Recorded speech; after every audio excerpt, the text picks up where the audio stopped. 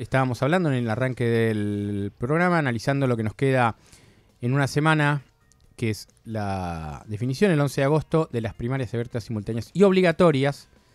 Y vamos a hablar con alguien que eh, tal vez no, está teniendo toda la dimensión del lugar que ha ocupado en la política en los últimos tiempos. Y, y por eso nos interesa charlar con Graciela Camaño, quien es diputada nacional y también es candidata a diputada nacional por el Consejo Federal en la provincia de Buenos Aires. Graciela, Pablo de un saluda. ¿Cómo va? ¿Qué tal? ¿Cómo le va? Buenas tardes. ¿Cómo anda? Muy bien. ¿Es una campaña distinta para usted? Digo, por ahí eh, que si era candidata a diputada o no, primero si eh, no por el Frente Renovador, que es donde es diputada ahora, sino por una fuerza distinta que es la de la Baña. ¿Es una campaña atípica? No, no es una campaña distinta. Eh, en lo que a mí personalmente corresponde, yo siempre frente al proceso electoral creo que se abre un, abanico de, posibilidades, de, búsqueda, de, en fin, de, tratar de, ver cómo se construye el futuro. Entonces ahí uno elige, eh, puede ser eh, el actor activo, que es el que vota, como simple ciudadano, puede ser el actor pasivo, que son los candidatos, este, puede estar en el lugar del relato, o sea, en el que están ustedes, algunos sociólogos, etcétera. Este, pero es un momento de expectativa, eh, se trata nada más ni nada menos que del destino de nuestra nación, ¿no? Es una campaña berreta con un Aníbal Fernández hablando de comparando a Vidal con Barreda o de Rosichner, el asesor presidencial, diciendo que esa fuerza que antes te, que te critica por votar a Mauricio, eh, antes te secuestraba y te torturaba, o, es lo habitual? No, yo lo que creo es que la, o sea, la, la velocidad de la comunicación y la las diferentes metodologías de la comunicación generan la posibilidad de que el relato intente manipular a la opinión pública y como de costumbre eh, hay una línea directriz en ese, en ese sentido, eh, pero como de costumbre siempre hay alguna chispa que salta por fuera, digamos, del, carbón que se está quemando. Eh, y entonces aparecen algunos abruptos, este, pero esto pasó siempre, digamos. Claro. ahora, claramente uno lo que advierte es una campaña en la que no hay disposición por discutir el futuro de los argentinos, en donde se trata de incidir para que la población vote en contra de alguien.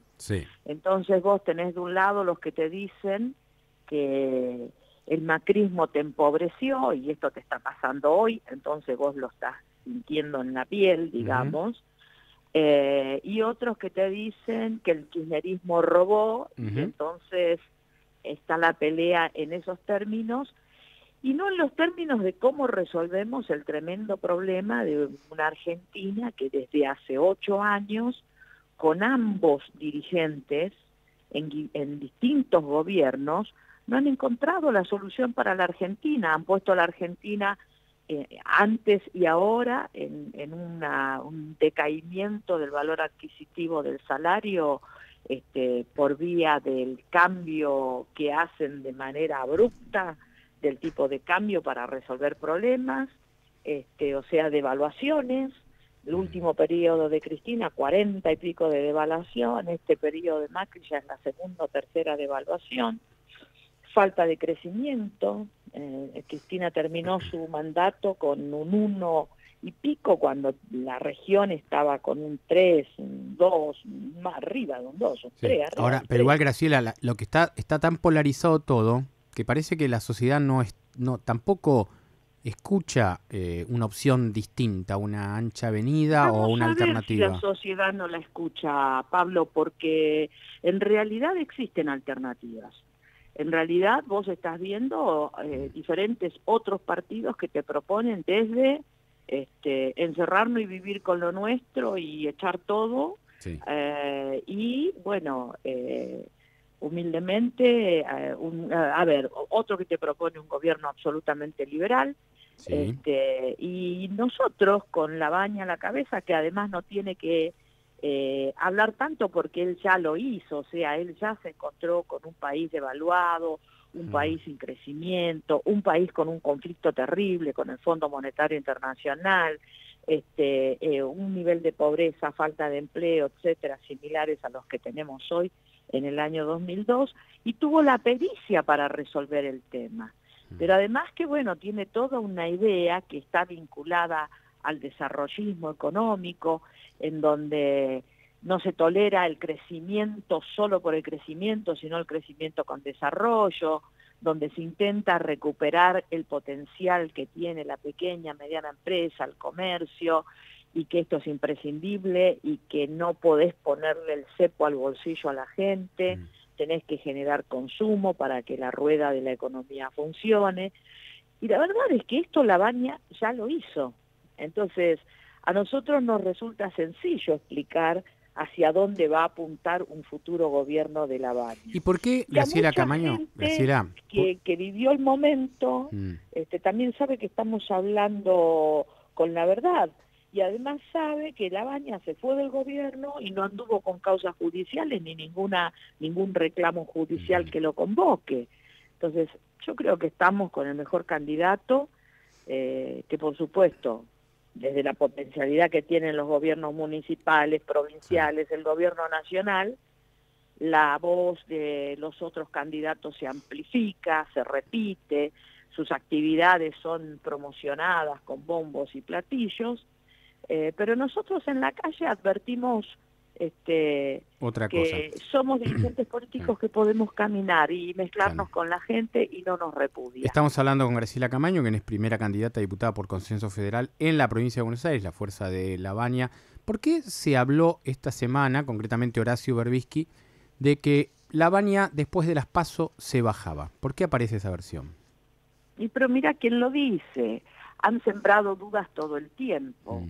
Eh, Berbisky, al igual que Frigerio, sea, este te dice eso, el otro dice nosotros queremos consensuar con la baña para desincentivar a nuestros votantes. O sea, claramente ellos se han dado cuenta temprano, por cierto, de que había un enorme porcentaje de la población que estaba buscando una alternativa. Mm. Y por eso se dedicaron a cooptar dirigentes. Tuvieron éxito con dos. Uno se fue para un lado, el otro se fue para el otro.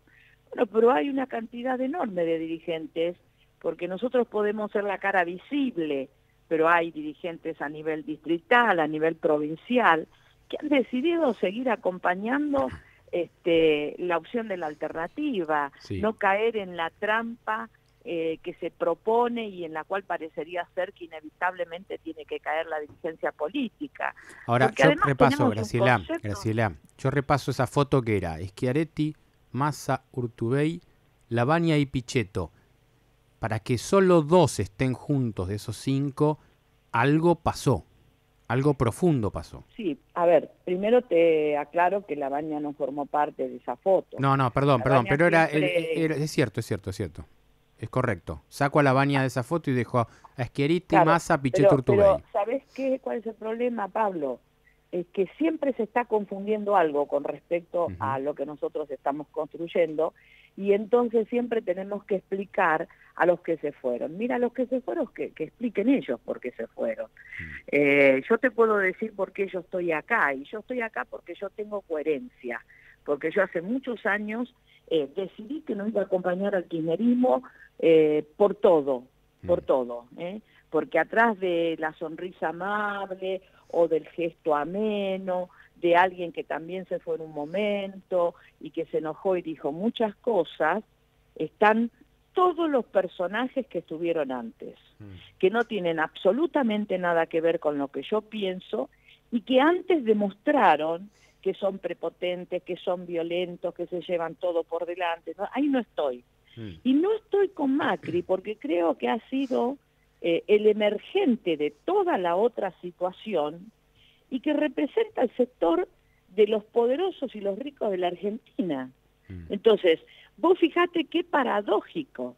La declaración jurada del presidente, que es empresario, al igual que de muchas empresas fundamentalmente ligadas a los sectores que el gobierno eh, con mucha alegría proclama como los sectores que están bien, el sector energético, el sector del campo, la declaración jurada patrimonial subió un 51% en el mismo periodo. De 100 millones a 151. En el que tu sueldo, Pablo, cayó un 16 a un 18%. Explícame cómo puede ser en un país en el que todos trabajamos y empujamos el carro y miramos el futuro, que algunos se la estén llevando a niveles del 50 y pico por ciento y otros estén sin posibilidades, y son muchos, porque es un 7%, ni siquiera de comer.